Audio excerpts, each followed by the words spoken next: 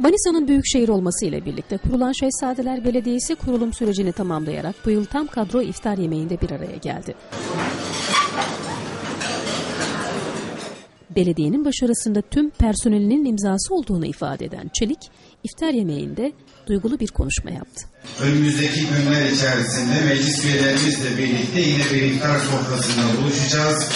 Temennimiz o ki önümüzdeki yıl Veziroğlu'ndaki Manisa'nın en güzel, en nezih sosyal tesisleri, düğün salonları belediyemiz tarafından tamamlanır. Seneye inşallah bütün personelimizde 750 kişiyle birlikte iftarımızı o nezih mekanda yaparız. Bu noktada da Fen İşleri Müdürlüğü çalışanlarından beklentimizin ne olduğunu hep beraber ifade etmiş olduk. Biraz daha çalışmaları hızlandırsınlar ki seneye iftarda bütün personelimiz bir arada olabilelim. Öyle mi? Alkış var mı?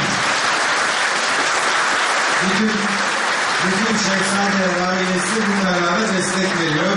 Ona göre fen işi biraz daha hızlı tutsunlar.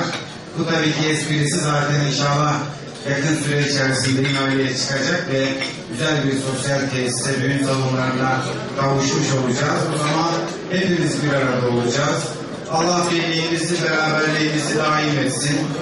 Bugün yeryüzünde birçok ülkede gözyaşı var, ızdırap var.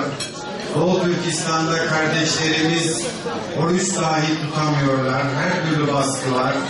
Arakan'da inançlarından dolayı her türlü katliama tabi tutuluyorlar. İslam coğrafyasının birçok yerinde hüzün var, gözyaşı var. Çok şükür ki biz Türkiye'de bolluk ve bereket içerisinde, huzur içerisinde Ramazan ayını idrak ediyoruz. İftarlarımızı yapabiliyoruz. Allah bu birlik ve beraberliğimizi bozmasın. Bozmak isteyenlere de fırsat vermesin. Kıyamete kadar ay yıldızlı bayrağımızın altında bir ve beraber bir şekilde kardeşçe yaşayalım inşallah. En büyük